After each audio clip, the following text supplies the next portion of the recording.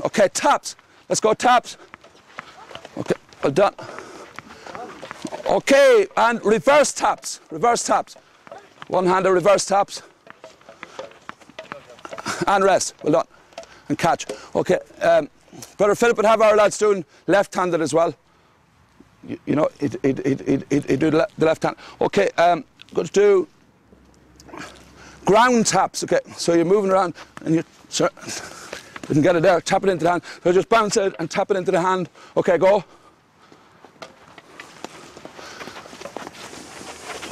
Okay, and air taps. Now this is snaps. Okay. Okay, and we're doing on the run, on the move. Okay, snapping and snapping different ways, like the beanbag. Okay, like snap statues. Okay. Okay. Okay, this is a very, this, the next one now we call it grips. And again, uh, we'll move from the 1992 one just down into a snug position there. Okay, and uh, we'll do this standing first. But uh, we'll go right-handed. So I want you to throw the ball, get the grip if you're going to strike it, and then catch it again. Okay, go.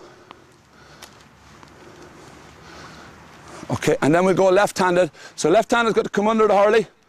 Okay, and again, like you can get all this stuff in the books, but we're just showing how, how we pr- it up with a group. Okay.